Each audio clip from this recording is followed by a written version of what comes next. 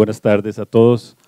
Un gusto para nosotros estar aquí compartiendo nuestra experiencia con los sonidos de, las plantas. Tenemos un público muy selecto que tal vez en otra ocasión no, no vamos a encontrar, así que vamos a aprovechar al máximo para hacerle llegar nuestro mensaje. Tanto Tapado como yo hemos eh, buscado desde nuestra experiencia como músicos la relación entre arte y naturaleza, entre arte y sonido.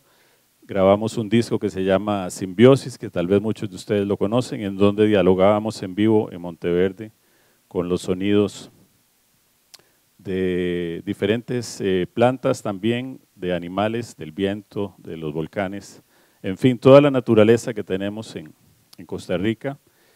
Eh, Tapado también grabó un disco que se llama Mística, ¿verdad?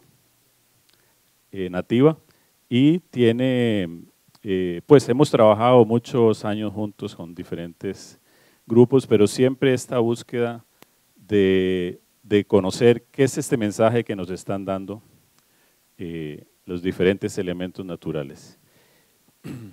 Hace allá unos 15 años en un concierto en Holanda tuve la oportunidad de conocer por primera vez esta tecnología que es desarrollada en Torino, Italia, en donde también después de muchos años de experimentar, eh, lograron sacar los primeros sonidos de seres vivos, no solo de, plantas, sino de todo lo que tiene eh, las condiciones para emitir sonidos, lo cual nos abre una puerta y nos permite comunicarnos a un, en una, un primer nivel con lo que las plantas nos están diciendo. Es un momento importante también este que estamos viviendo a nivel global, en donde hay muchísimos eh, sectores de nuestros bosques desapareciendo, y no solo por el tema económico, ¿verdad? o por la inclusión de agricultura, de ganadería o otros, se, prioriza, ¿verdad? A veces la actividad económica sobre este, este gran banco que tenemos de conocimiento que son nuestros bosques, que son nuestros seres vivientes. De ahí la importancia de sensibilizar a todo nivel eh, lo que nos están diciendo las plantas. Entonces vamos a iniciar con un pequeño experimento, nada más escuchando estas, estos sonidos. Eh, y después de, escucharlos, que cada uno pues vaya pensando qué, está diciendo esta planta.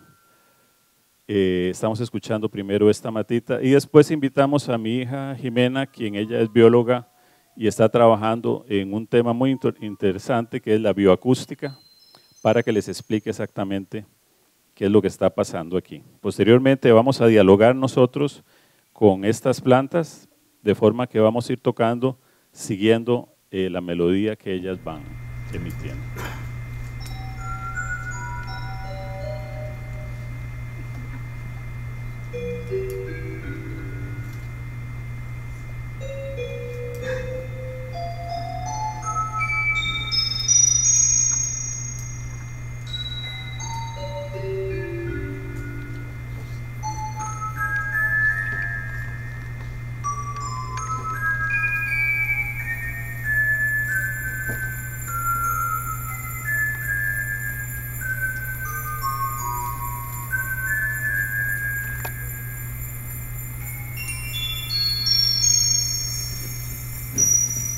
Buenas noches.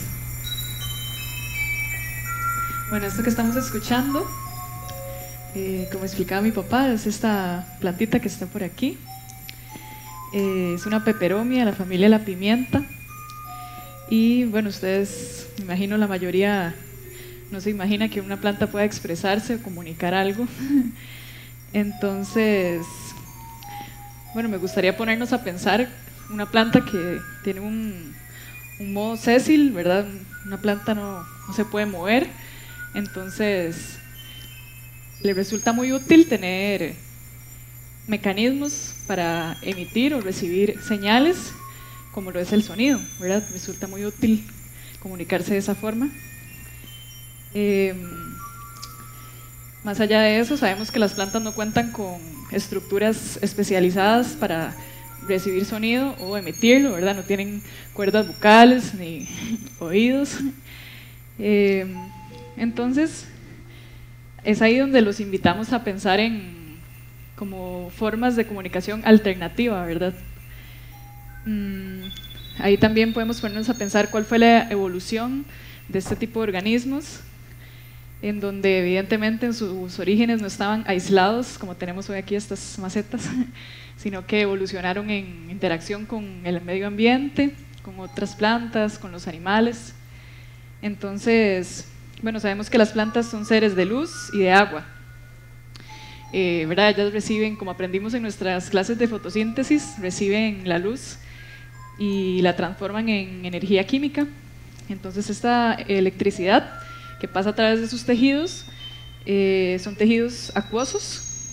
Entonces, podríamos imaginarnos que el interior de una planta funciona como un circuito eléctrico en una piscina. Y tenemos las paredes celulares de cada una de las células de la planta que funcionan como aislante. Por lo tanto, no nos electrocutamos cuando tocamos una planta, ¿verdad? Eh, pero bueno, ¿qué estamos escuchando realmente, verdad? la máquina, que es esta que tenemos aquí,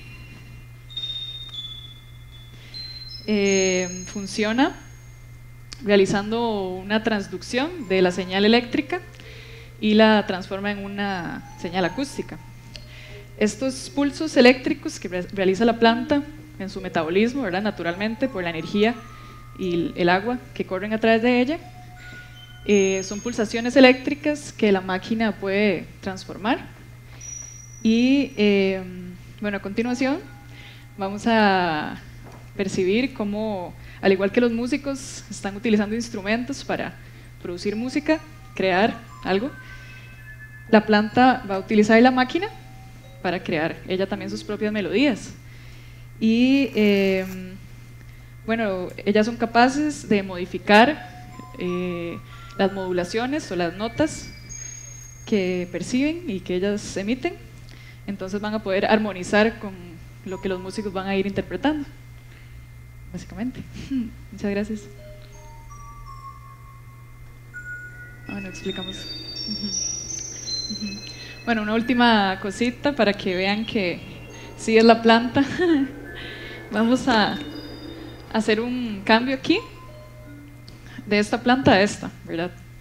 Entonces, el funcionamiento, básicamente, bueno, tenemos un gel que ayuda a conducir la electricidad.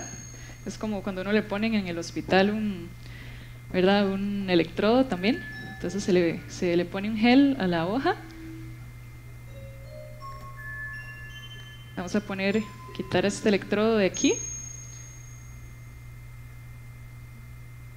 Y lo ponemos en la hoja y lleva otro electrodo que sería el de tierra que va conectado a la raíz de esta otra planta. Vamos a esperar un momento porque a veces dura un poquito volver a activarse sin querer hablar también. Hemos descubierto que son un poco tímidas también algunas plantas, no todas se comunican de igual forma.